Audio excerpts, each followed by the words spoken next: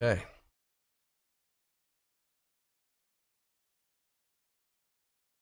Righty, we are going live. Believe posting. We are good to go. Welcome to Thursday. I hope you guys had a had a good uh, day today. I know mine was uh, pretty pretty busy. So, and I just shut down my other computer by mistake. They put the on off switch right on the left hand side. I'll tell you what, this computer started on my streaming adventure, did pretty good until I started to get multiple uh, people dialing in, and then it hogged in there and hogged down. And then yesterday, I was on the phone with somebody and I spilt a cup of coffee right on the keyboard. I mean, it, it was right on the keyboard. It's still got a stain on this desk. I wiped it all off, turned it upside down, shut it down, took the back off. There was no coffee in amongst the motherboard. Put it back together, and it works better than it did before. My um, fan doesn't hum anymore, and all that good stuff. So we got Vince Delacroce, we got George Horn, George Hornfeck. Man, party time! Good to see you, George. You are the man. I haven't talked to you in a long time. You got to give me a call, brother. Gustavo, good afternoon. Ready to go. Ready to talk uh, reconditioned equipment. Thanks for joining. We got Vince Delacroce. Reconditioned has its limits. So do I, Vince. So do I. All right. Well, we're going to be talking. We're going to do a deep dive on reconditioned equipment. Uh, there's some changes that were happening in the 2023 version of the National Electrical Code. We're going to talk a little bit about that. I want to talk a little bit about the uh, the existing language, and I'll tell you where I see most people sort of uh, fall off uh, the the wagon, so to speak, is just in understanding the definition. So, Luis Diego, uh, good to see you, buddy, and glad you can dial in. Thanks for joining us. Um, all right, it's 501. We got uh, people in the house, and they'll be, whoa, they'll be diving in and all that good stuff. I got to make sure I got my phone muted. Today was a busy day, and I have a great idea for next week's program. I had a phone call with an engineer today who's watching one of my older videos uh, on the infinite bus calculation. And what was really cool was we got into talking about per unit and uh, complex variables. If you're not a power systems engineer, if you're not an electrical engineer, per unit and complex variables variables will probably you'll just go, what the heck is he talking about? So in any case, um, we had a great discussion. I sent him some materials. I don't know if he's going to be dialing in. He said he's he he found my channel. I'm not sure how he found it, but uh, he found it. So next week, I thought what I would do is go through a manual calculation on available fault current. And I'm going to use the per unit method, not the point to point method, but per unit. It's going to get really complicated really fast. So, um, if you if you're interested, if you're an if you're an engineer, if you're a power systems engineer, and you use SKM software and those types of applications, and you want to know what's going on behind the scenes in the software, you want to understand the math, we're going to talk about it next Thursday. Um, if you're not into the math, if you if you just want to use the tool and you don't want to know what's going on behind the scenes, you don't want to dial in next Thursday. So next Thursday at five o'clock, we are going to talk short circuit calculation. We're going to dig into doing it the hard way via the math. I'll bring up SKM. We'll we'll run the example. We're going to learn complex variables, real and reactive components, phasors, and their angles. We're going to learn how to add phasors, how to subtract phasors, how to divide phasors. We're going to learn how to uh, place an ohmic value into per unit. We're going to do a, a, a calculation. My thoughts are we're going to do like a service calculation where you have a uh, you have a utility, a transformer, uh, conductors go into a panel board, and then what I might do is also is uh, do that, and then we'll do it in SKM, prove our answers, and then we're going to put a motor in parallel downstream and show you how we model motors and how they contribute uh, fault current. So um, that's what we're going to do next Thursday. But today we're talking reconditioned equipment.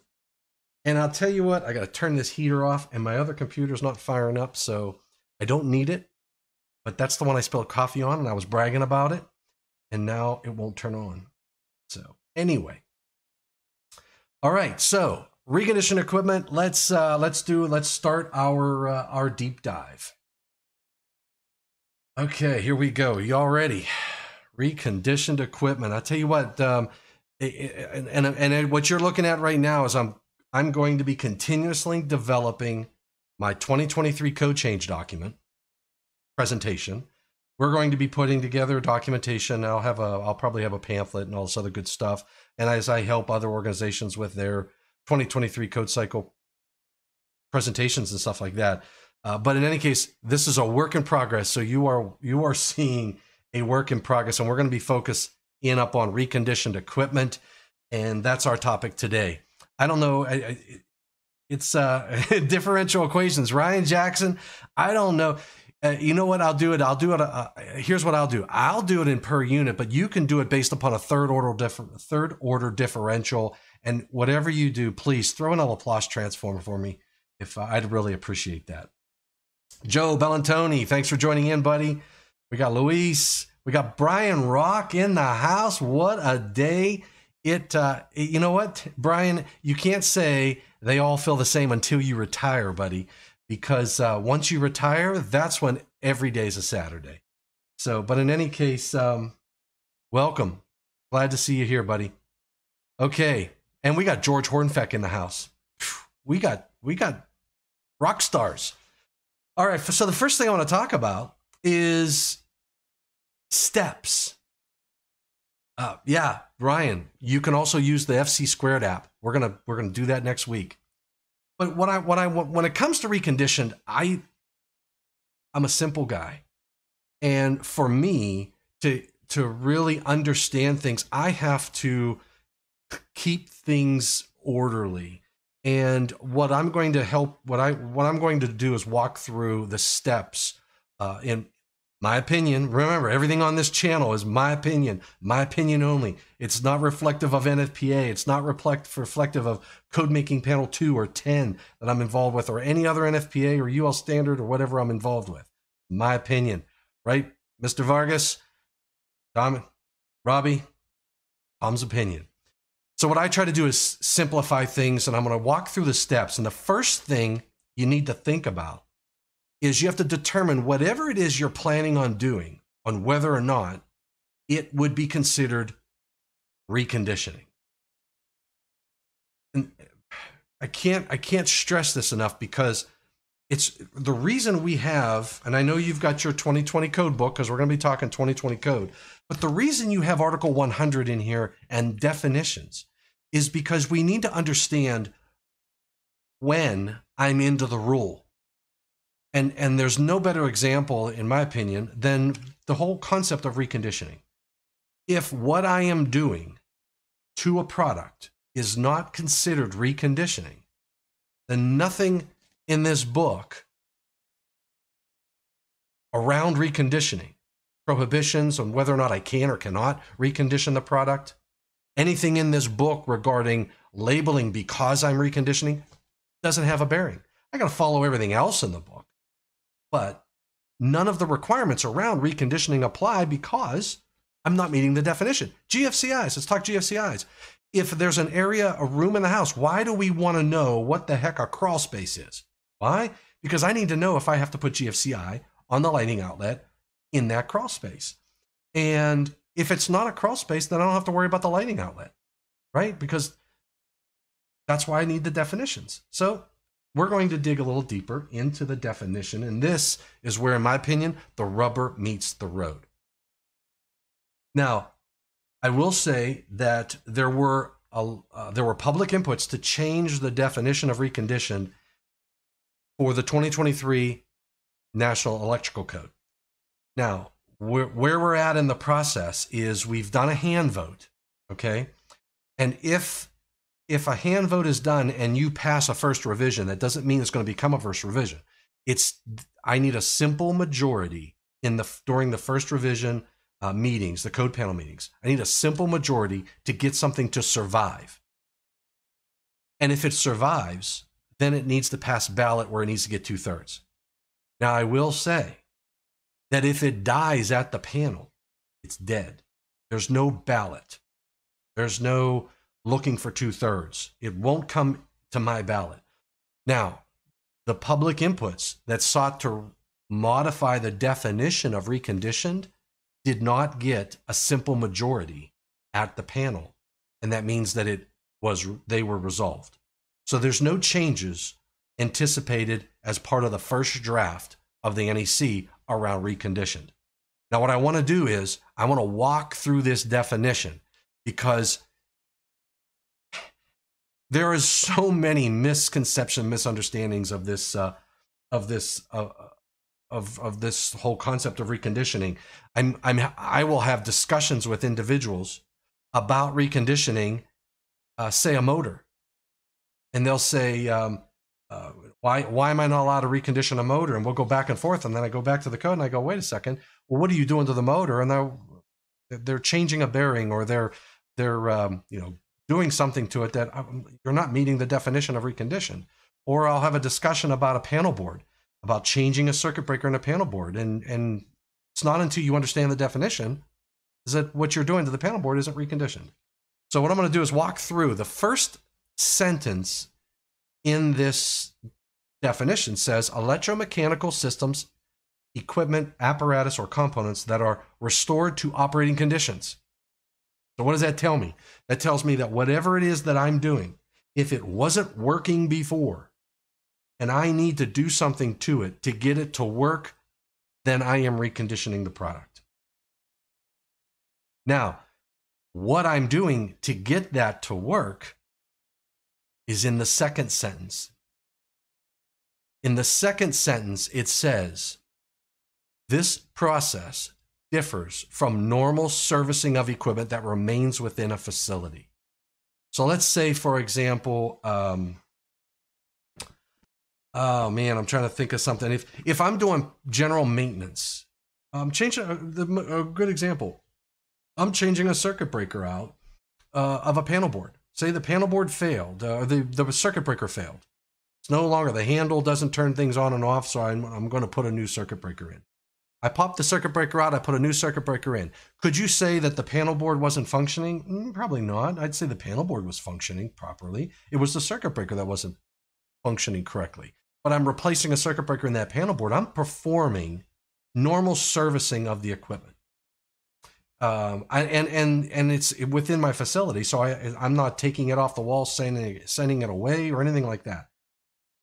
So that activity would not be considered reconditioning. They also say in this, in the second part of this last sentence, or replacement of listed equipment on a one to one basis. So, what does that mean? Well, Let's say that, for example, I have an industrial control panel. And my industrial control panel has a little relay in it. And I have that relay fails. So I go to the store, I call the manufacturer, and they send me a relay. And the relay is the same model number. And I'm going to open the industrial control panel, take that little brick relay out, put a new relay in. I'm replacing a one for one inside of an assembly. I'm not reconditioning it. That wouldn't meet the definition. So was the industrial control panel broke? I, could say, yeah, probably it wasn't working because the relay wasn't there. Uh, but if I'm replacing that device with a one for one, then it's back up and running. Brian Rock, good good point, Brian. Uh, a fuse. Uh, so if I have a fuse, a piece of equipment, say an industrial control panel that has fuses in the fuse block, and I open a fuse, and now I may go down and look and say, why did the fuse open? Right? Says we just don't replace fuses. If I notice that maybe that relay failed, and when it failed, it opened the fuse. So I take the relay out, I replace the relay, one for one, I replace the fuse, one for one, like for like. I can re energize. I've not reconditioned that product. I've followed the manufacturer's instructions on how to uh, replace a relay. I followed the manufacturer's instructions how to replace the fuse in that equipment. I'm not reconditioning that equipment. Was the industrial control panel not functioning? Can you argue and say, look, Tom, you took a piece of equipment and you restored it to operating conditions? I did, but I was performing normal servicing. Nothing lasts forever. The manufacturer sells replacement relays. The manufacturer sells replacement fuses. They tell me what model to put in, what uh, catalog number fuse overcurrent protective device to put in. One for one replacements. I'm not reconditioning that equipment. Now, if I, and, and they put a little informational note in here that says recondition is frequently uh, referred to as rebuilt, refurbished, or remanufactured. And that's just because everybody calls it differently, right? So that's the definition. Now, whenever, whatever you're doing on a piece of equipment, you've, it's really important that you understand what it is that you're doing, compare it to this definition, and then determine whether or not you are in the world of reconditioning because you need to figure out am I meeting the definition? Because if you don't meet the definition, none of these requirements around the labeling and whatnot that you find in Article 110, or if if uh, let's say that whatever you're doing to a circuit breaker, let's take for example, you're going to add um, you're going to add a shunt trip to a circuit breaker. So you called uh, Eaton uh, obviously, because it's always going to be an Eaton breaker that you're working on. Uh, so you called Eaton, you locate, you called your local application engineer in your Eaton sales office, and you told him, "Hey, I need to add a shunt trip capability, and oh, by the way, I want uh, I want a, cl- a contact on this breaker to send a status back to my my dis- distributed control system." So the, the, sales engineer, the application engineer in the uh, Eaton sales office says, uh, okay, this is what we're going to do. Uh, we can add shunt trip capability to that device. Now you have to you're going to you're going to take that breaker out. You're going to follow the manufacturer's instructions and add shunt trip capability. You're going to add the contact the uh, the outputs for dry contacts, and you're going to put that in. Hey, Jim Smith, thanks for joining us, buddy. So that activity is per manufacturer's instructions. Yes, you're modifying that circuit breaker, but you're following the manufacturer's instructions on how to do that. Now, if I have the capability to do that on a breaker, but I don't sell a kit for you to do that in the field and I don't have instructions and whatnot, but you're going to take it upon yourself to say, hey, you know what? This breaker looks just like this other circuit breaker that they sell. They sell a kit for this one, but not this one. I'm just going to try to do this one myself. That would that would be reconditioning because now you are taking this breaker apart. You're doing something to it that the manufacturer is not giving you guidance on. You're, you've bought a part that's not meant for that overcurrent protective device and now you're going to you may take it apart and go ah i see what's wrong. I gotta i gotta put a little piece of metal here to uh, to keep this in line with each other and then you're going to do something to get this thing working. That's reconditioning. So the moment you start getting out of that world of following manufacturer's instructions doing what the manufacturer tells you you can do you're into the world of reconditioning. Now vince delacroce uh, he says we'll have a definition of servicing Personally, I hope we don't have a definition of servicing in the National Electrical Code. Um, I think it will probably confuse things a little more. Let's take a look and see. I don't know, Vince, if you have a public input or a first revision number. I'm going to just take a quick look and uh, see if I can find that uh, definition in Article 100. So you're saying it's servicing just going to do a quick look if I can't find it because I thought, and it could be that uh, that they created that because I don't have that as part of my presentation. But let's take a look at. We got power supply, we got primary, we got receptacles, we got remote control, safety service, separately derived systems, service conductors. I see short servicing. Here it is. First revision 8449. And this is why I love chat. Thanks, Vince. Vince is from Siemens. So, servicing, Article 100, a new definition of part of First Revision 8449 if it gets a two thirds vote. I don't know what my guess is, it probably got, uh, I, and I listened in on panel one. This is code making panel one.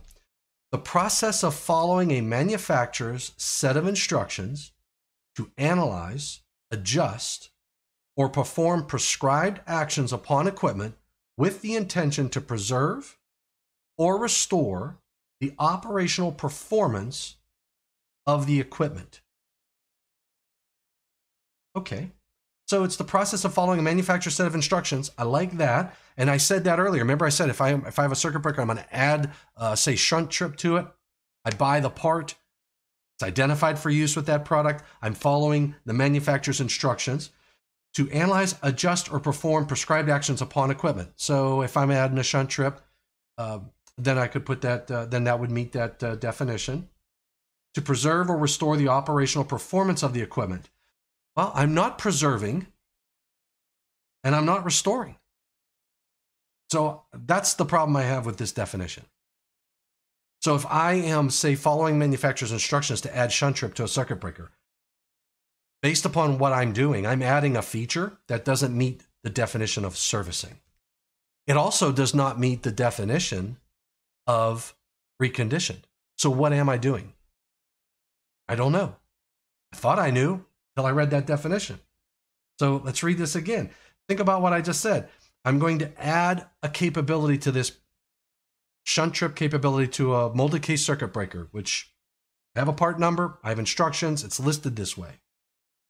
This says following a manufacturer's set of instructions to analyze. I'm not analyzing. Adjust. Am I adjusting it? I don't know. Am I adjusting the functionality?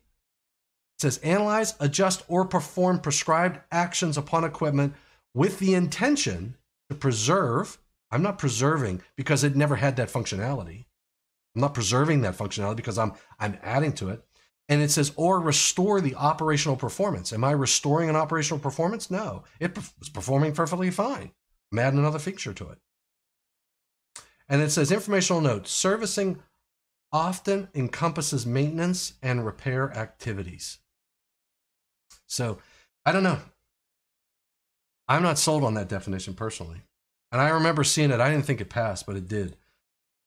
So anyway, um, it is what it is. So, and what it is not, when you talk about reconditioning, you know, if if I have a circuit breaker, and this is another question I get, if I have a panel board and I replace the circuit breaker, which we just talked about, uh, if I put a new circuit breaker in because another circuit breaker failed, that is not reconditioning the panel board. I'm doing a one for one replacement.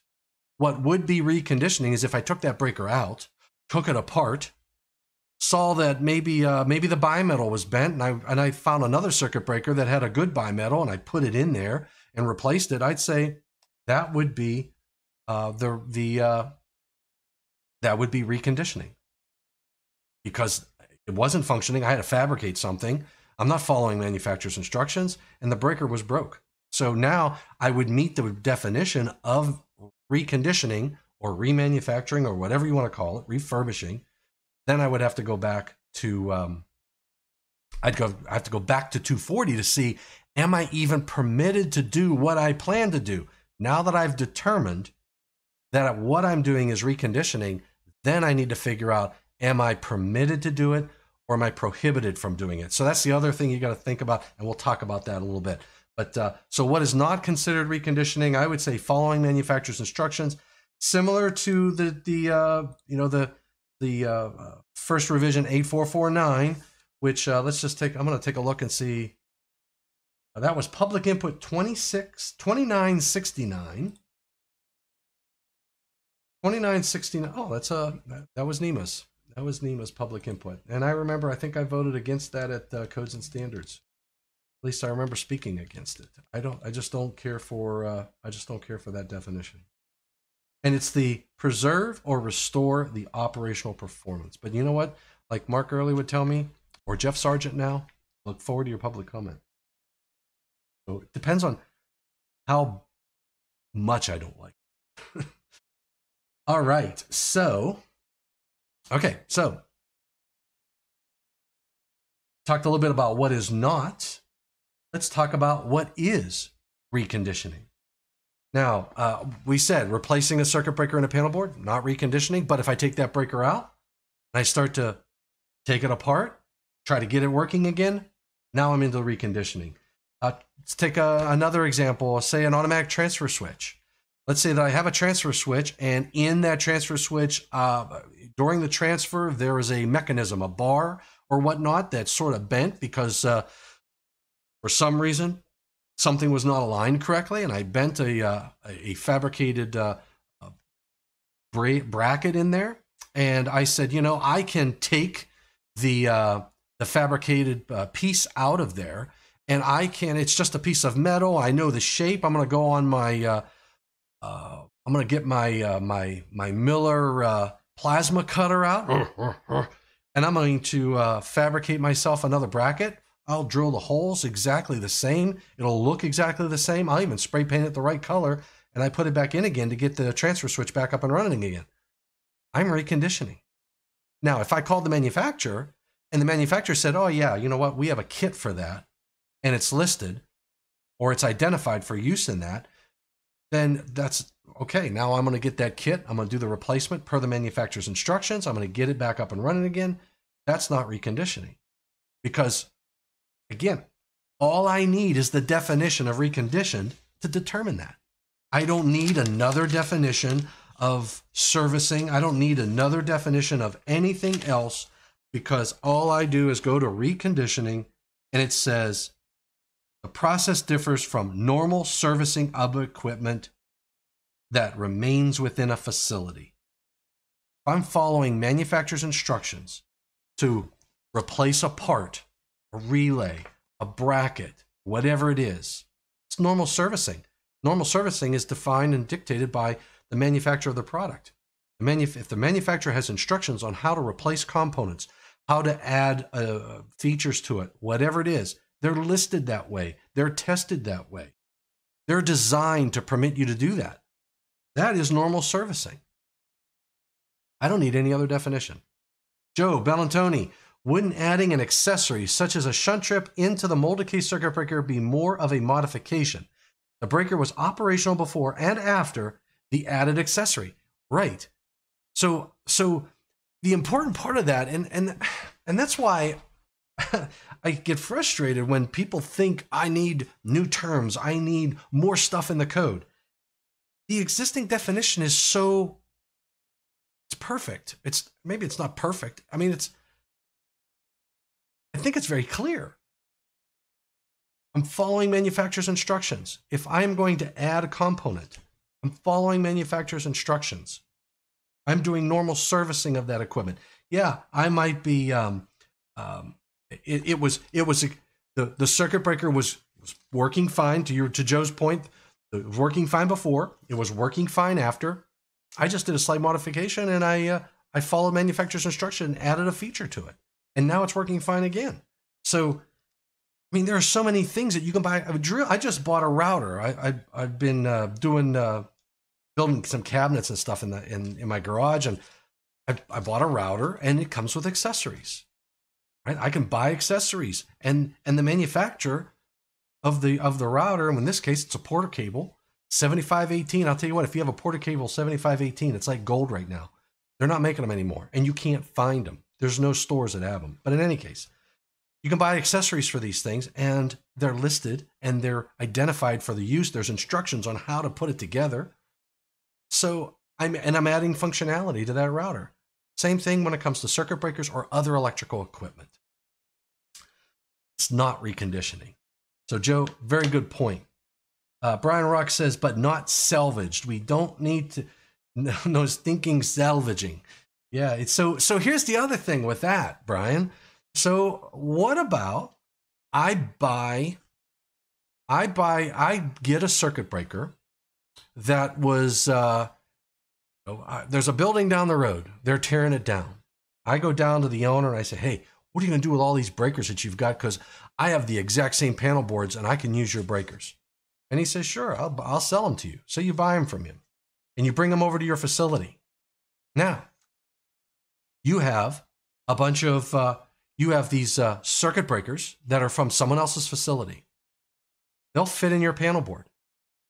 Are they working? So, what do you do? You go and you get NEMA AB4. It's a free download off the NEMA website.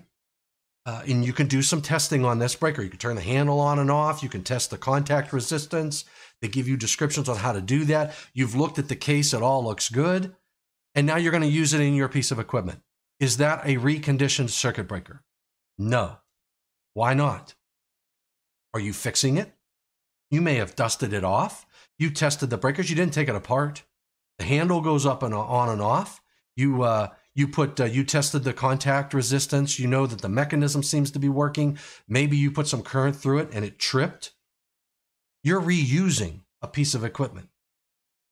So to brian rocks are you salvaging it? Yeah well you're salvaging it yeah. Now here's the risk you take. You don't know the history of that product. Think about uh, a circuit breaker. Think about what happens if it hit if it opened on a short circuit current more than once. You don't know because you don't know the history of that product. What if, instead of just down the street, what if, say it's down the street, and you buy that product, and then you find out that, oh man, I didn't realize this, but that whole facility was underwater for a week. When you, the breaker was really clean when I got it. Do you know what's going on inside? No, you don't. The moment you crack the seal and start taking it apart, you're reconditioning it. I don't care if you take it apart and you look at it and you put it back together again, you crack that seal, an inspector or anybody else is going to say, You took that apart. We don't know what you did in the inside. Uh, and then are, are you putting it back together correctly? All of that stuff matters. So, and then even the screws. So there's the other the other thing is some screws are almost like a self tapping that when you when you when we first put them in, we're breaking into virgin material, and that screw is is digging into the thermoset or the thermoplastic or whatever it is.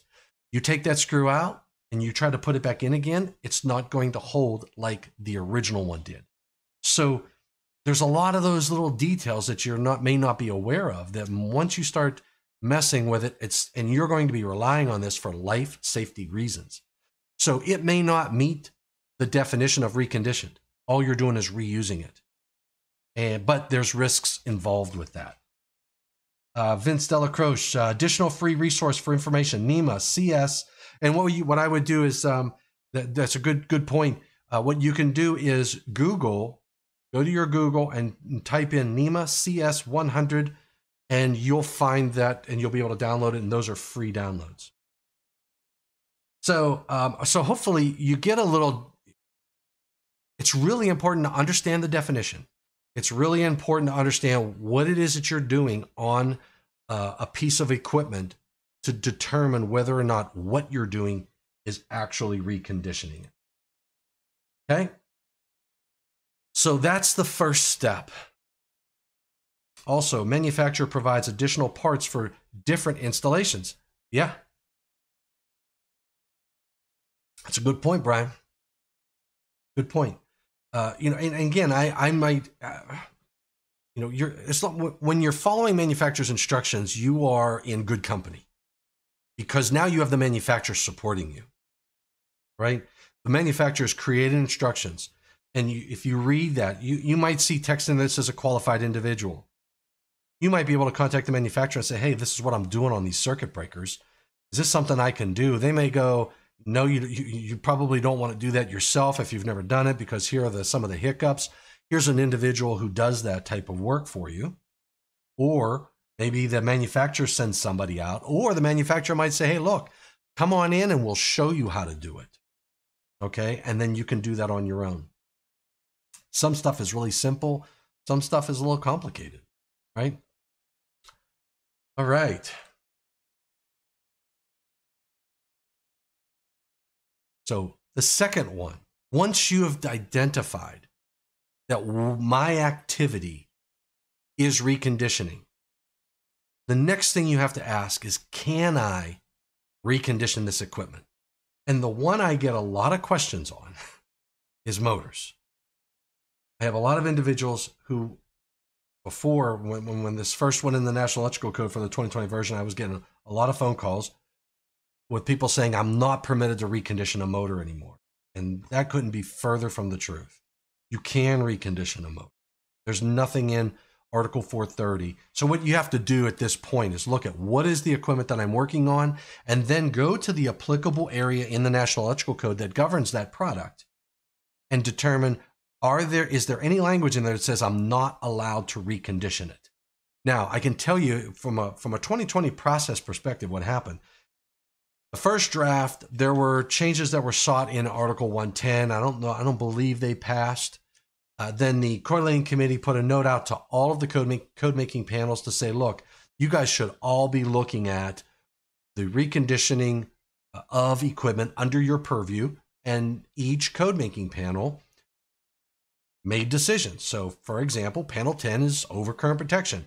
So they made decisions as to whether or not you can recondition circuit breakers, whether it be a molded case circuit breaker, insulated case circuit breaker, power circuit breaker, low voltage, medium voltage, fuses, low voltage and medium voltage, fuse holders. So they governed all of that. Healthcare handles healthcare equipment. They made some requirements. Um, fire pumps, panel 13 looked at transfer switches and fire pumps and, and the products that they have uh, say so over. So what you and what you would need to do is say, okay, let's go take a look at the different locations in the National Electrical Code. 210 so what I'm going to show you, anything with a red star changed in the 2023 or is probably going to change in the 2023 code cycle. Uh, I, I, call it give 210.15 got a little love in uh, in during the first draft meetings. Now remember, we're at the hand vote. The the changes that we that I'm going to talk about in 210.15 may or may not make it uh, to the first draft report. But uh, suffice it to say, that if it doesn't make it, then uh, you will, it's fair game for comments phase because it's not new material. Now, 210.15 was new in the 2020 code cycle. So if you go to page 70.65 in your book, it says the following shall not be reconditioned equipment that provides G- GFCI for personnel, GFCI, equipment that provides AFCI protection, and then equipment that provides ground fault protection of equipment. Now, what happened in the 2023 code cycle is a little bit of a little bit of this. That. Let's try that. That way you can see all the language. So 21015, if it passes the 2023 cycle, is going to say reconditioned equipment shall be listed as reconditioned and the original listing mark removed.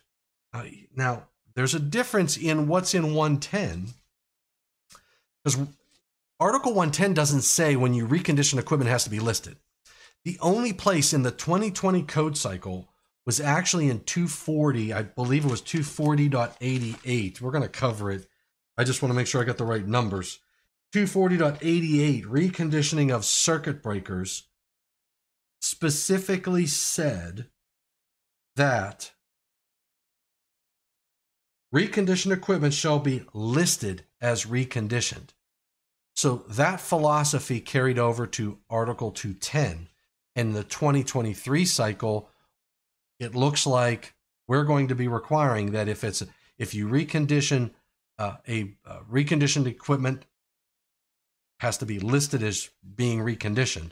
So, uh, but unfortunately, in 210.15, well, all we do is tell you that you can't recondition um, GFCIs and AFCIs.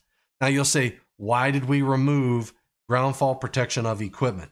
What you're going to see is panel 10, who, who basically has requirements for ground fault protection of equipment. They have the reconditioning uh, rules for GFPE and and they're better suited. They've got the uh, the expertise on that code panel to handle uh, GFPE, so they're better off with that. So in any case, uh, GFCIs and AFCIs, and I don't know anybody who would. Now just think about it: receptacles and wiring device. No one's going to be reconditioning a receptacle.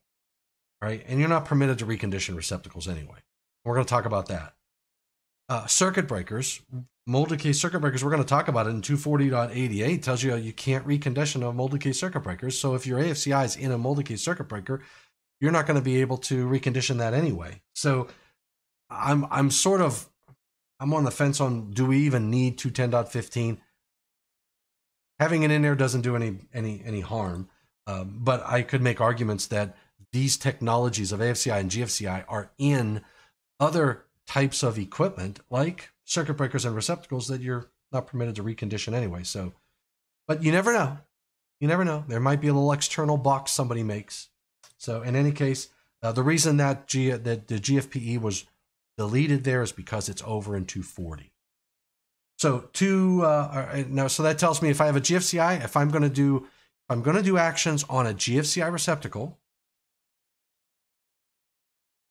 that would be getting it back to working order, taking it apart. Maybe I want to take the faceplate off of another one, put it on. Maybe I took it apart and I found the contacts were welded and I break them off and I put a new set of contacts from another device. Not allowed to do that. 210, you're meeting the definition of, of uh, reconditioning. Per 210, you're not allowed. So Article 240, you have 240.62. 240.62 says See, you're in the 60s, so that's going to be fuses. So remember, um, part seven is circuit breakers, and that starts at 240.80. Part six is plug fuses, fuse holders, and adapters. That starts at 240.50. So if you're in between 240.50 and 240.80, you know you're dealing with fuses. So 240.62, reconditioned equipment, low voltage, fuse holders, and low voltage non renewable fuses shall not be permitted to be reconditioned.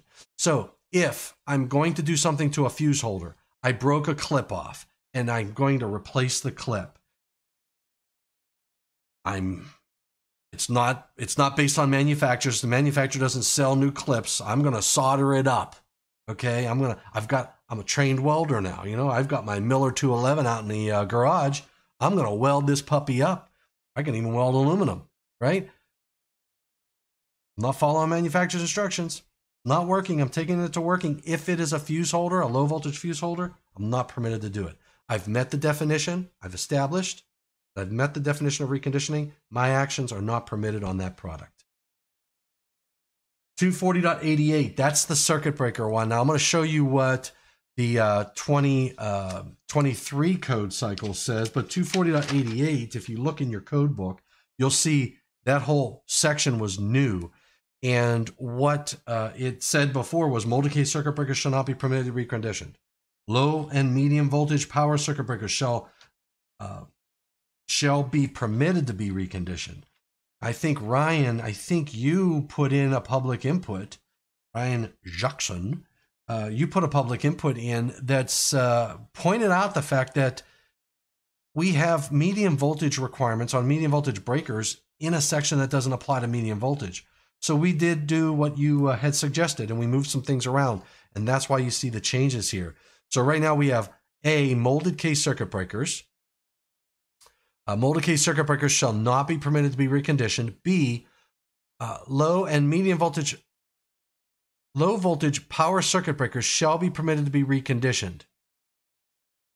Low voltage power circuit breakers and electronic trip units shall not be permitted to be reconditioned. What we're going to have to do is uh, we're going to have to go back to the language in. Let me go into Terra here.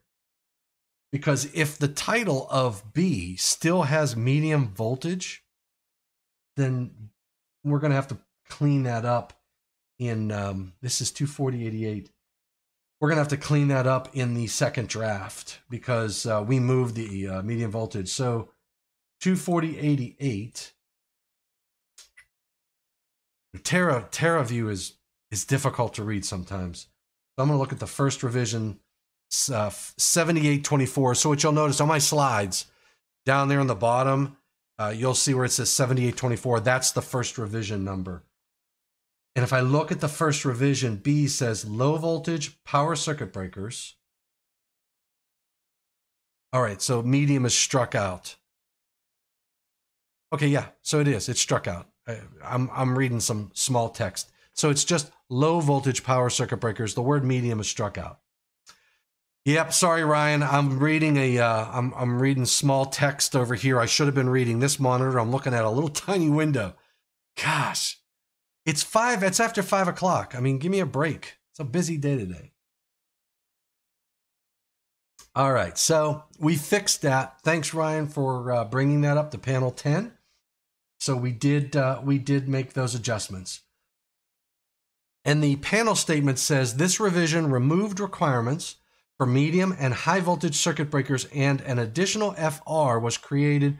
Uh, creates new subdivisions in 240.102 in part nine. So, and that's uh, to your uh, to your credit, Ryan. Good good catch on that one and then we made some editorial changes. All right. So that is 240.80. I look this this little is is is a little screen It's about this. The text is like that big. This one over here has text that's a little bit bigger, but not. This one is really big. I don't know why I don't just look at this monitor. So that was 240.62. We went over 240.88. 240.102, that's a new one. 240.102 says, hey, you're going to love this, Mr. Jackson. Uh, medium voltage fuse holders. So we move fuse holders up there as well. Medium voltage fuse holders and medium voltage non renewable fuses shall not be permitted to be reconditioned. That was existing language. We created an A, B, and C. So we had to create A, first level subdivision. We created B, medium voltage power circuit breakers, and then C, high voltage circuit breakers. So you are permitted to recondition medium voltage circuit breakers and high voltage circuit breakers. Um, those are big boys, and there's a lot of parts in there. We sell parts, and we recondition those ourselves.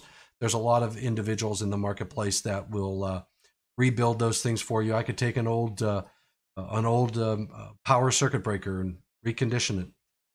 I, I, didn't throw pictures of those in here uh, primarily because uh, I'm trying to keep the footprint of this PowerPoint low. And what better what, what images of products do you need? You got you got me, right? You don't need any other images. You got you got you got Tom. So no better picture. All right, so that's 240. So you know if you're working on a power circuit breaker, listed power circuit breaker, go to 240.88, low voltage you know you're permitted to recondition it. You're golden. Now, the next layer is what we're going to talk about a little bit later on when you're getting when you get into that process. 242 is over voltage protection. They added uh, requirements in, and this is for the, it didn't exist. Uh, there weren't any requirements. If you go to 242 in your 2020 code book, you won't find anything about reconditioning, but they did add language uh, in 242.7, surge protected devices shall not be p- permitted to be reconditioned. You know, when the MOV finally gives its life for you, um, you're not going to replace those MOV. Ryan says, interesting that the listing requirement for medium voltage and high voltage reconditioned breakers is gone. Was that intentional?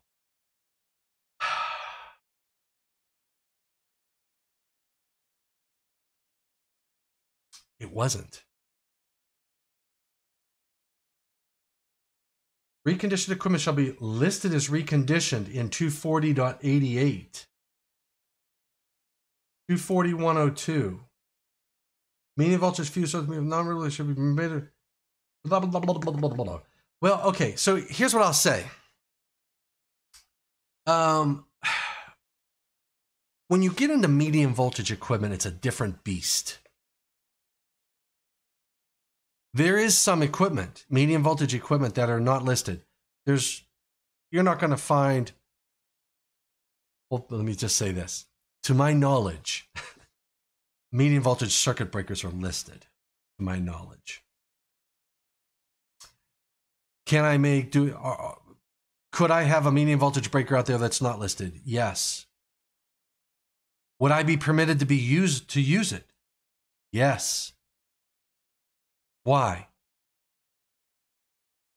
Well, the National Electrical Code, the 2020 version of the National Electrical Code, does not require a circuit breaker to be listed. So if I'm applying a medium voltage circuit breaker in other than a utility application, you probably will have inspectors to say, I want it listed. If you're in Shelby County, Alabama, it's going to be listed. But there are other methods that inspectors can use to verify the performance and the capabilities of that device. If I'm in a utility application, I don't need to be a listed product.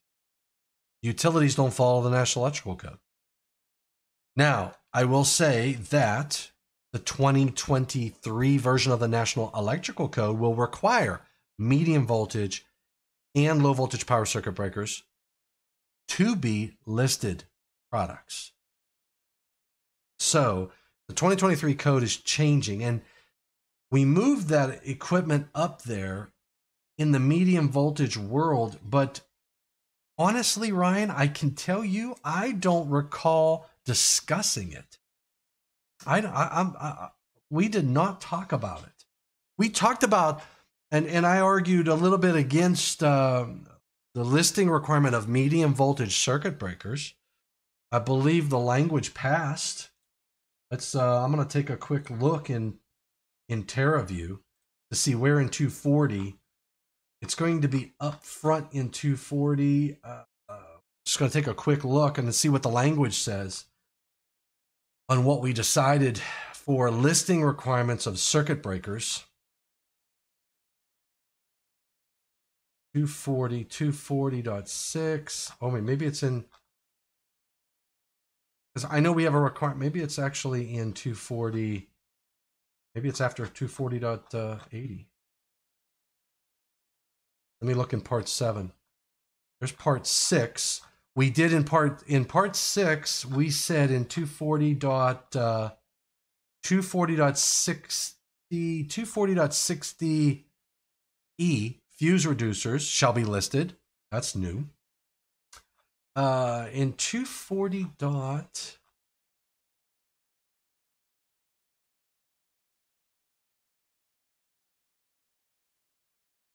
240 dot. I'm not seeing it. I know we have it in here somewhere. Series ratings, we got applications, got performance testing methods. Man, for the for the life of me, I'm not finding it. Um, protection of flexible cords, standard ampere rating is not going to be there. It's somewhere. I know we were we, we we have a requirement in here somewhere. I'm not sure where it is, but um, yeah, if you could throw a public comment in there, that'll at least uh, get us looking at it. But but you've because even if it says that circuit breakers have to be so 240.70.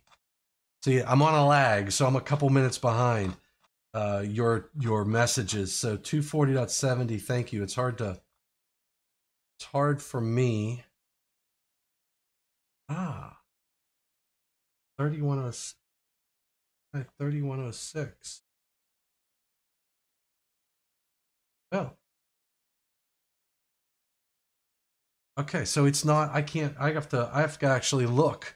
So I'm gonna. So the public input is 3106. Let's take a look at the public input. 3106. I'll show you what I'm doing here.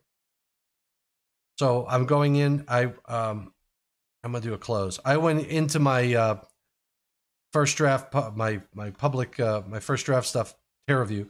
I click on report on this. I click public inputs and I'll type in Ryan says it's 3106. I'll do a search. Uh, and there's a first revision 7805. Let's go to first revision 7805 says branch circuit overcurrent protected devices shall be listed. Overcurrent protection devices pr- protecting branch feeder or service conductors are safety critical devices that have long been required by AHJs is listed. Required, and it, so there's no. Uh, uh, this is 240.7. 240.7. Thanks, Daryl. Daryl Hill in the house. There's a guy. Hey, Daryl. I know you guys you deal with wood. I just bought some new routers, buddy. So I'm I'm I'm uh, I'm, I'm I'm carving wood. I'm gonna start making I'm, I'm making some cabinets and all that good stuff. So remember 240.6. Um, if you look at the part one, oh man, my glasses. Part one says um, parts one through seven of this article provide the general requirements for overcurrent protection and overcurrent protective devices not more than a thousand volts. So because this is in 240.7, it only applies to circuit breakers less than or equal to a thousand volts. So medium voltage breakers are not required to be listed. Wood is good. Hear that? Wood is good. So, uh, because it's in 240.7, now if it was back up there in 240, well, even 240.70, it would have to, we would have to look and see if there's anything, and we didn't do anything in, uh, in the medium voltage world. So, uh, a medium voltage circuit breaker is still not required to be listed just because of the placement of 240.7. Good. Uh, we took a little bit of a detour, but I think we learned something there. All right. So 240.7. So we talked about uh, 242. We saw that. I don't know if we talked this one yet. This is 242.41, surge arresters. So we had SPDs, now we have surge arresters, not permitted, and it's a simple text. So there's not a big fanfare for that. Now, 406, we have the requirements in 406 for receptacles, uh, cord connectors, and attachments plugs. That did not change in the 2023 cycle. No one's looking at, uh, there's no first revision associated with it. I don't think there were any public inputs on it. So 406.3a, uh, you guys can read that. At least you have the reference. And 406.7. So those are your receptacles, cord connectors, and attachment plugs. 408. So 408.8. Let's go to 408. That section changed. Remember in 408.8, reconditioning equipment, reconditioning of equipment within the scope of this article shall be limited as described in 408.8 A and B. And A speaks to panel boards and B speaks to switchboards and switchgears. Panel boards are not permitted to be reconditioned. Switchboards and switchgear uh, or sections of switchboards or switchgear shall be permitted to be reconditioned. So uh, let's take a look at what 408.8 uh, changes, what changes are there in the uh, 2023 cycle. They're looking at uh, uh, a change up here in the positive text about corrosive influences or water. So there's some discussion at the panel about corrosive environments. Uh, and they added a sentence reconditioned equipment shall be listed or field labeled as reconditioned and marked in accordance with 110.21a2. So, uh, switchboards and switchgear are still permitted to be uh, reconditioned, and they added uh, switchboards in there, and that was a little mistake that we had. We missed that in the in the 2020 cycle. Switchboards and switchgear shall be listed uh, or field labeled as reconditioned. So they just, uh, in fact, they don't even need that text there. They have to, they they could put that uh, above, and um, and they referenced 110.21a2, and we're going to talk about the changes there. And they removed the previously applied listing marks, if any, within the portions of reconditioning that been removed. They removed that because that language is now in 110.21a2, and we're going to go there here shortly. So stand by me here. So that's sort of what they did in 408. They didn't change the intent. Uh, they just they did tell you it has to be listed as reconditioned. So remember, in the 2020 code cycle, the only place reconditioned equipment is required to be listed is on circuit breakers in 240.88. Nowhere else. Um, and and you know, Ryan, if you put a public input in on the medium voltage, that's going to cause us to debate on whether or not medium voltage breakers in themselves need to be listed. There's a debate. All right, 410. Now we're going to go to 410. 410.7 did some changes there. So 410 got a little bit of love. 410.7 says they added ballasts, LED drivers, and lamps. as not being permitted to recondition. So if you're going to take a ballast apart, you're going to do something with LED drivers or or lamps.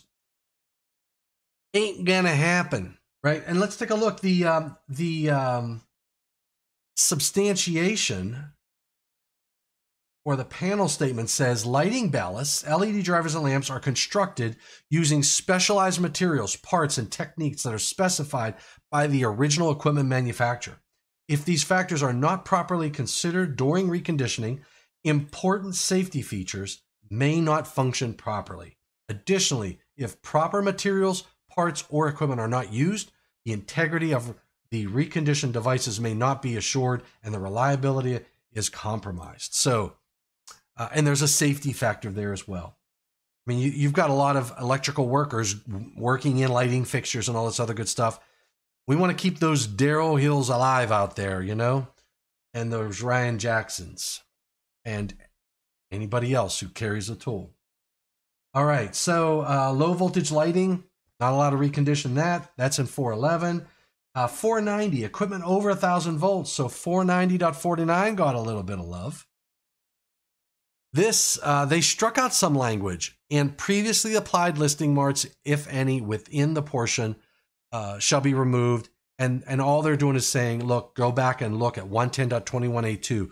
So one, 110.21 got a little love. So we're going to go and take a look at that as well. All right. 404 switches. Let's take a look at what happened in 404. They added lighting so this is new language. 404.16 is totally new for the 2023 cycle. It's not in the 2020 code. Uh, if it survives um, first draft, it will be able for you to comment on. Lighting, dimmer, and electronic control switches shall not be permitted to be reconditioned. Snap switches of any type shall not be permitted to be reconditioned. Knife switches, switches with butt, con- butt contacts, and bolted pressure contact switches shall be permitted to be reconditioned. But look at it, says it says the reconditioned process shall use design qualified parts verified under applicable standards and shall be performed in accordance with any instructions provided by the manufacturer. If equipment has been damaged by fire, products of combustion, corrosive influences, or water, it shall be specifically evaluated by its manufacturer or a qualified testing laboratory prior to being returned to service. Reconditioned switches shall be listed or field labeled as reconditioned and marked in accordance with 110.21a2. Are you seeing a theme? I am. So uh, that's first revision 7859, totally new for um, Article 404. Another new is generators 445. Let's take a look at generators. This is new language for the 2023 cycle. Again, past the hand vote. We got to wait to see if it gets past ballot. So, what does it say? The reconditioning of generators shall be in accordance with instructions provided by a generator manufacturer. The generator nameplate shall not be required to be removed. Where a generator is reconditioned, it shall be identified as reconditioned and marked in accordance with 110.21a2 reconditioned, rewound, or repaired classified hazardous generators identified for use in Class 1 Div 1 locations shall be listed as reconditioned or certified as reconditioned. And then uh, there's an informational note tells you what standards to look at recommended for practice for the repair of rotating electrical apparatus. And the informational number two says the C CFR Title 40 for emissions nameplate, etc. Now, there, uh, you know, what I'm learning is on the motor and generator side, there's a requirement. It's not a requirement. It's it's not in the standard that the label, the listing mark has to be on the nameplate. It's typically requested by the NRTL, the nationally recognized testing laboratory that's listing it, that will ask the manufacturer to put that uh, listing mark on the nameplate. Now, the challenge it presents when we say that you have to remove the original listing mark, if it's a part of the nameplate, they say, well, I have to take it off of the nameplate. If you're reconditioning, you're probably replacing the whole nameplate anyway. Okay. But in any case, um, uh, that presented a little challenge and concern for the industry around motors and uh, generators and whatnot. So, in any case, uh, there's language in here uh, to help you with uh, with generators. And two other sections are in Article 470 for resistors and reactors. Both of these are pretty much exactly the same. Reconditioning of resistors shall not be permitted. Reconditioning of reactors shall be in accordance with the manufacturer's instructions. So um, both of these 470.5 and 470.21 are pretty much the same. 517.75 hasn't changed. Go check that one and read it. There is a new requirement in 555. So uh, I'm going to move over to Article 555 a little bit because uh, 555 talks about replacement of equipment. I, I wouldn't say it's it's directly related with reconditioning, but what they did in 555, I think, is uh, going to be a historical moment. It says uh, it deals electrical enclosures, devices, or wiring methods on a docking facility. They talk about modifications, replacements, and, repla- and repairs. And it says that if you're doing any modifications, replacement, and repairs, you have to comply with the provisions of this code. So if you, uh, you know, I, I, think that sort of brings in reconditioning. If you're going to take a pedestal, try to refurbish it, get it back up and running, maybe you hit it with the boat, you cracked it, all of that good stuff. You're going to be following the National Electrical Code and any of the requirements around reconditioning there. They talk about modifications, replacements, repairs of electrical closures, devices, um, shall require an inspection of the entire circuit. Uh, and all equipment has been recognized as being damaged or compromised during the inspection shall be identified, documented, and repaired by a qualified person. Notice they're using the word repaired, but you really, this is going to, this is probably going to uh, generate some discussion about what you can and can't do on equipment in and around marinas. And they're referencing 303. So be mindful of what's going on in 555. Uh, there's a lot going on, I believe, in that in those areas. 660, 695 fire pumps and X-ray equipment didn't change, but you know, there's prohibitions on there's a prohibition on reconditioning fire pump controllers, but you're permitted to uh, recondition X-ray equipment. Uh, 700, 701, 702, and 708. Uh, there are uh, requirements on reconditioning. You're not allowed to recondition transfer switches. If you look at 702.5, uh, there's they they added a word interconnection or transfer equipment.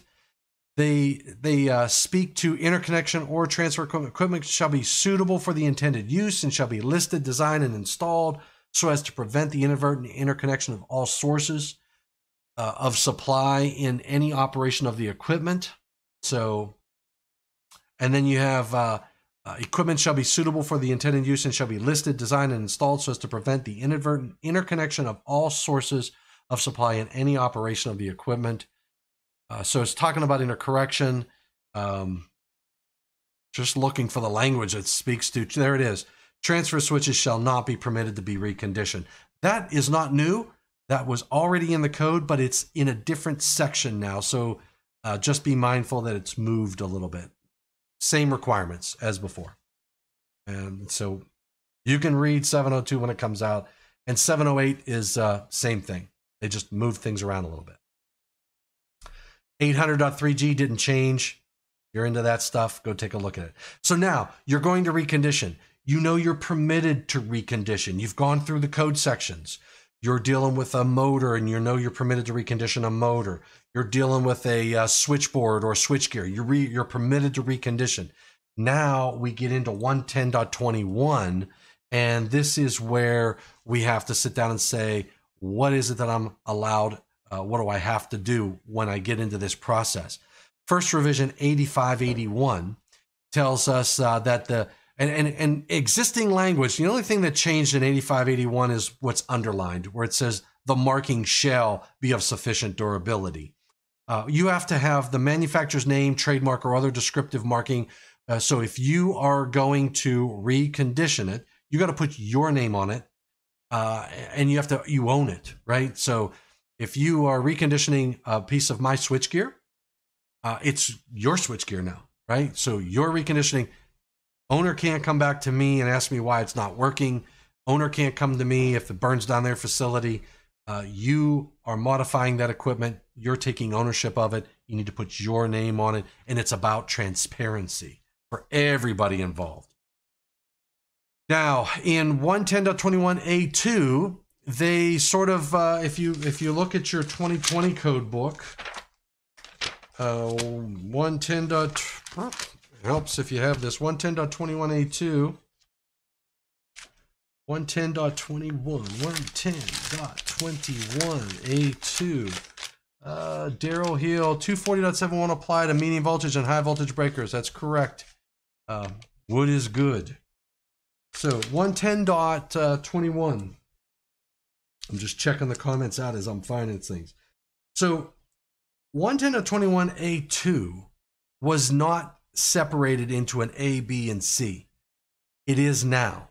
So what panel one did was they sort of modified this to say reconditioned equipment shall be marked with the following A is the name, trademark, or other descriptive marking of the organization that performed the reconditioning. We just talked about that.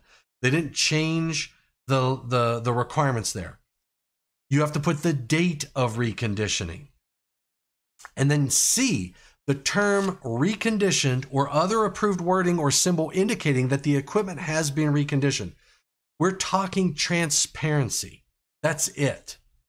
We're not talking about um, anything other than you want to make sure that if I, if my handle broke off of this cup and I replaced it or made a new handle and put it on here, it's no longer a manufacturer. If, if Eaton made this cup, yeah, Eaton made the cup, but I'm going to put my name on it to say this was reconditioned and the date that I reconditioned it, the name of my company, my trademark, or any other descriptive marking for Thomas Domitrovich Enterprises. And um, and then it says the original listing mark shall be removed or made permanently illegible, or made permanently illegible. that helps the motor guys and the generator guys because let's say that uh, the nameplate and the listing mark is on the nameplate, which has uh, information on this cup that tells me how uh, how much water, how much coffee it holds, and uh, uh it, it, has uh, the rating of this from a temperature perspective. I don't want to have to remove that label. Now I just need to make sure that the original listing mark is permanently illegible, and I could scratch it out. I could mark it, whatever. The equipment nameplate shall not be required to be removed or made permanently illegible. Only the part of the nameplate that includes the listing mark. And this is for the motor guys. The motor guys were having a fit because the UL listing or the ETL listing or whatever nerdle they use to list their their motor is going to be on the nameplate. It's not required in the UL standard for motors. It's required by the National Tech. It's required by the NRTL. So they'll ask for that listing mark to be a part of the nameplate. It's not required by the code either. The National Electrical Code 430 does not require you to put the listing mark on the on the uh, on the label, the nameplate of the motor. It lists everything that you're required to have on the listing on the nameplate of the motor. The UL or the listing mark is not one of those items. If you go to the standard for motors, it's not one of those items. But the NRTL nationally recognized testing laboratory that you're using to list that motor is going to say, we want it on there. Now, can you ask them to not put it on that motor? Sure. You know, you can might not put it on the nameplate of the motor. That's been done before by uh, UL, at least. I've asked that question of UL, and they've permitted that in certain applications. But this is to appease that faction of the industry, which, um, which I believe this will make them happy. All right. Um, ANSI approved standards are available for application of reconditioning. And then the term reconditioned may be uh, interchangeable with the terms rebuilt, refurbished, or remanufactured, even though these are sometimes different processes. So that was clarity that was added. All right. And then in B, in 110.21b, that field uh, hazards, that changed, but I'm not going to get into that because that doesn't have anything to do with reconditioning. All right. All right. Okay, now we can't forget it. Now, this was uh, 110.21, I believe this.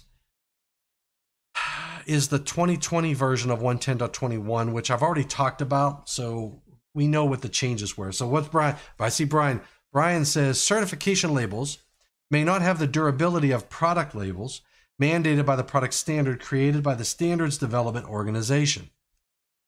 All right. Certification labels persistence and durability are the at the discretion of the certification body. So that might explain why they require it uh, on the motor nameplate. Duty to warn, clarity of understanding, persistence of warning is the primary concern when dealing with product liabilities. So, good point, Brian. Thanks for uh, contributing in the chat box. So, if those of you are maybe listening to this while you're driving down the road, uh, you're going to want to check back and take a look at the live chat that's going on. There's a lot of good information in there. So, if I'm going to recondition it, I know that I'm going to put my name on it. I am going to remove the original listing mark or obliterate it, make sure that it's not discernible. In some cases, and it looks like from what we read in, in a lot of the different articles, you're going to have to list it as reconditioned. And what that will require is a field evaluation, and you'll need the a nationally recognized testing laboratory to come out and do that evaluation and apply a label in the field um, that identifies it as being reconditioned. Now, a lot of the questions say, is the original listing label still valid? So the original UL listing mark says that the equipment met the applicable UL standards when the product left the factory. The moment you start modifying, UL, that certificate, that third party certification body, or ETL, or any other nationally recognized testing laboratory that did the evaluation for you, they don't know if what you did compromised the performance of that product based upon how it was listed and tested. Not unless they get a look at it. And in some cases, they'll specifically tell you you can't recondition or refurbish this because they know that on how the how the parts and whatnot are all going together. So can UL uh, list? Can UL listed equipment be rebuilt? Now, when I say UL listed, I don't mean listed by UL. I mean listed to a UL standard. If it's ETL, it's Intertek. If it's uh, any one of the other nationally recognized testing laboratories who's listed the product, can it be rebuilt? Now, there are rebuilding programs by nationally recognized testing laboratories. There are, um, they reference the most recent uh, current standard. And in some cases, the standard will have provisions to address the reconditioning, refurbishing, or remanufacturing of these products. So, yes, you can do certain things with those products, and um, and it might be that there are standards associated with it. So if you're looking at a piece of equipment, a switch gear, switchboards, uh, motors, and you're going to recondition it, you know there are rebuilding programs. There are standards. Um, there's uh, if you if you if you know the um, the product that you're looking at, Annex A of the National Electrical Code Informative Annex A says it's titled Product Standards. So, for example, if I have a panel board, I would go to panel boards. I would go to panel boards. Unfortunately, I, I know the standard number. So it's the standard, it's not in alphabetical order of the title. You go by articles. So Article 408, UL 67 is a panel board. Uh, switchboards are UL 891. So if I can recondition a switchboard, I would look at UL 891 for my criteria that I would be using uh, in during the reconditioning or re- refurbishing uh, solution. Um, so informative annex A is a is a great uh, area to look at. Now the question is, who is permitted? And uh, you know, I do a lot of stuff in my garage. Okay, I build cabinets. I'm going to make guitars. Um, I'm going to be making shelving, all that good stuff. I'm not going to recondition a power circuit breaker in my garage. The question would be if I decided to start doing that, would you buy one from me? right? Um, so if you look at who is authorized to do this work, you're going to be looking at um, is it the original manufacturer? So in a lot of cases, the manufacturer of the products will recondition and refurbish, remanufacture their own products. Um, in some cases, you might uh, uh, you might be able to find that there's a program that there is an organization who does this for a living and they're certified to do that. Uh, there are programs by nationally recognized testing laboratories. They can help you identify who does that type of work, who's good at it. They probably won't tell you who to stay away from unless it's off the record. Um, but in any case, um, you know, in in the case of a lot of this, especially if it's done at a location, like say it's a power circuit breaker, and I'm doing it in my facility. Well, we rebuild this. We rebuild uh, power circuit breakers. Uh, we will we will have our eyes on it. We may get third party eyes on it, like uh, uh Underwriters Laboratories or ETL or something like that, depending upon the needs of the client. Uh, I we we in some cases will farm out some of our uh, work whenever it gets too much, and we've identified uh, individuals or organizations that we know are qualified. They meet our standards, and we will have oversight on the work that they're doing. And and maybe we will, you know, we know that they have the facilities for testing and the capabilities of testing, and we have our standards that we use uh, that we ensure that they are following as well. So, and I know most manufacturers will do that. So there are people in the business of doing this recondition work, and um, I think uh, the one of the organizations is Pearl. I can't remember what Pearl stands for, but P E A R L or whatever it is. Uh, they'll do stuff like that, do do work like that. So, and and in a lot of cases, a lot of them are under the surveillance and uh, in cooperation with Underwriters Laboratories or ETL or one of these other organizations that uh, that do that. And then they, they'll figure out how to determine compliance.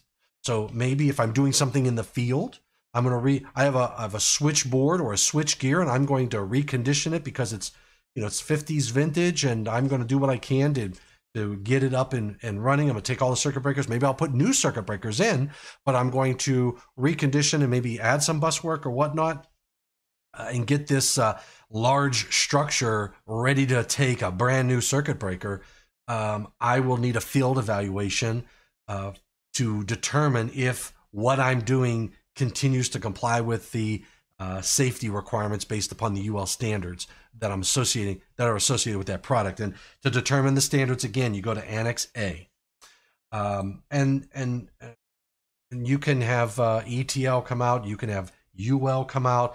Uh, any nationally recognized testing laboratory that has the qualifications to be able to do that review, they'll do that in the field for you. And that is the reconditioned information. So that's my deep dive. Uh, we went through, we didn't go through all the different individual standards. We went through the requirements. Professional Electrical Apparatus Reconditioning League. That's out of my league. All right. Thanks, Ryan. Brian Rock. If reconditioning is conducted by other than the original manufacturer or by other than an agent authorized by the organization originally responsible for the product, dot, dot, dot. So if I let's say that I have uh, there's an organization near Pittsburgh here. I'd love to advertise their name if I could remember it. I met the owners. We had some good discussions about reconditioning. Can't think of their names, but anyway, that organ that company does power circuit breakers. They do a lot of good stuff. Uh, okay, uh, does the organization responsible for or become considered to be responsible for the product, regardless of whether the original manufacturer's name. Yeah. So here's the thing, Brian.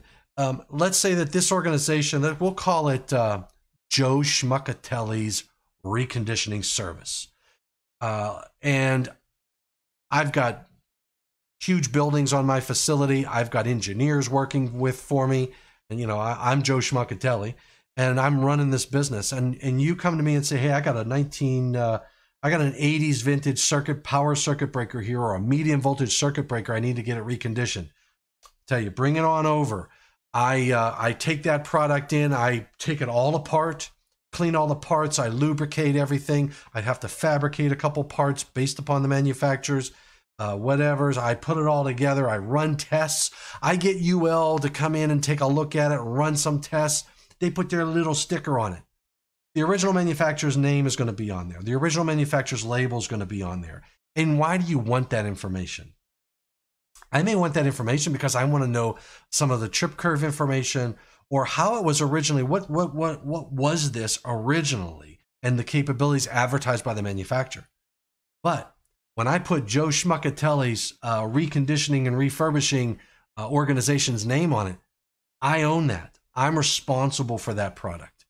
Uh, I would, I and, and and I could make an argument that you, as the reconditioner, because you probably changed the, the trip curve as well.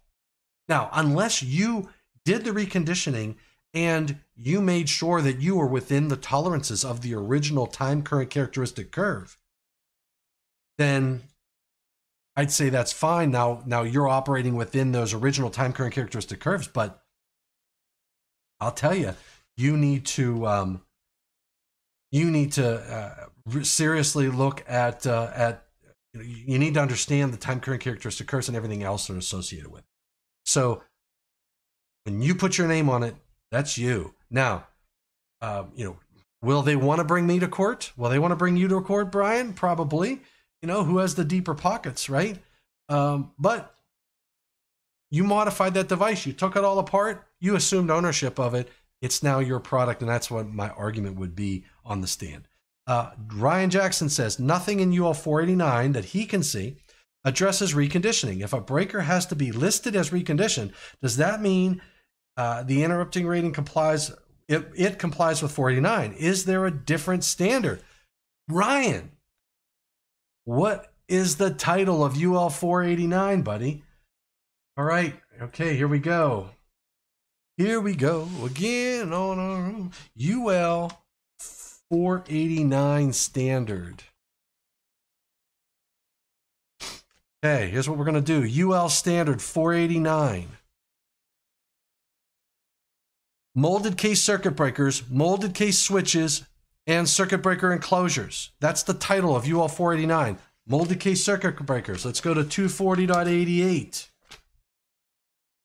240.88 in the 20 20 National Electrical Code says molded case circuit breakers shall not be permitted to be reconditioned.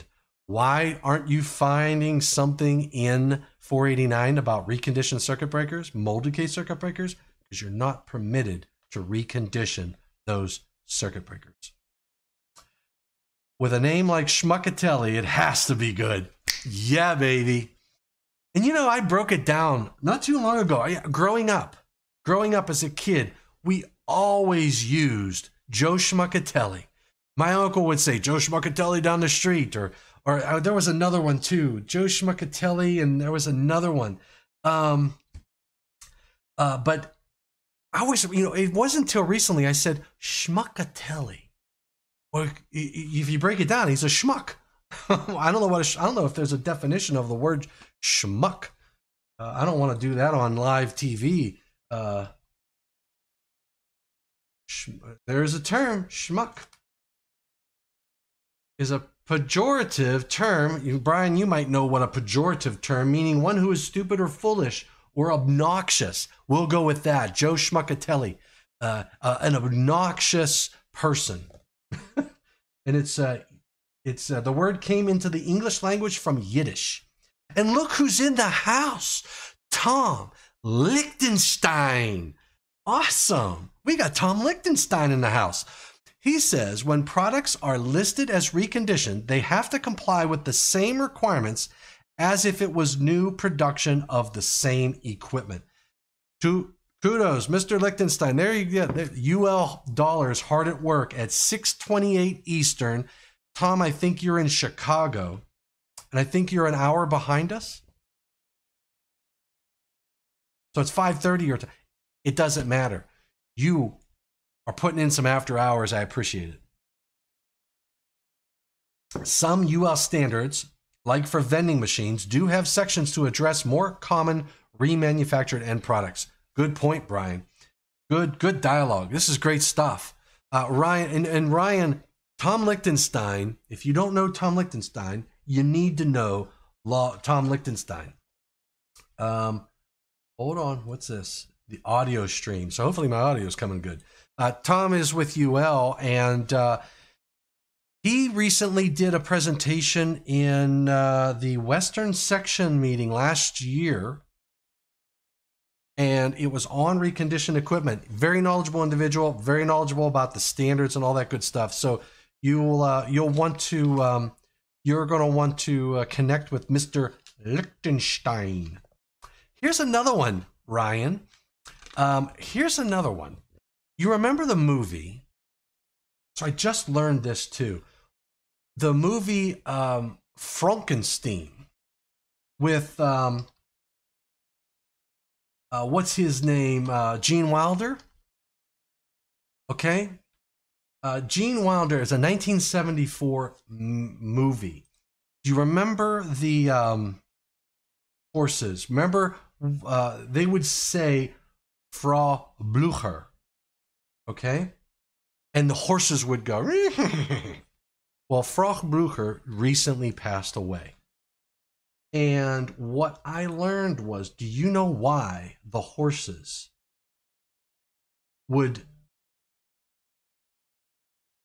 why her name, whenever they would say her name, why the horses would get scared and and and whinny like that. It's because Frau Blucher's name means glue in German. I never knew that. I never understood why the horses would go. Frau Blucher, I don't know if I'm saying it right. It means glue. And where do we get glue? From horses, apparently. I've never seen the glue process, but I've always heard that uh, you know when horses die they become glue. I don't know what that means. Young Frankenstein, Frankenstein. So uh, that's a an interesting little tidbit of information. You never know what you're going to learn here in um, on my channel live after five. But yes, Cloris Leachman died. Yes, she did. Yep. So, and I'm not sure that's her name, uh, Cloris, C L O R S, Leachman, actress.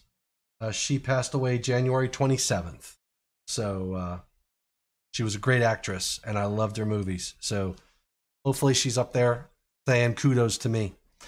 All right, everybody. Um, I don't have anything else. Um, so I am going to say I'm ready to call it a day unless you guys and gals have questions.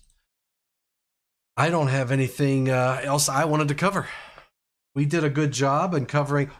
Don't forget about next week. Next Thursday, we're going to do a hand calculation on short circuit current using the per unit method.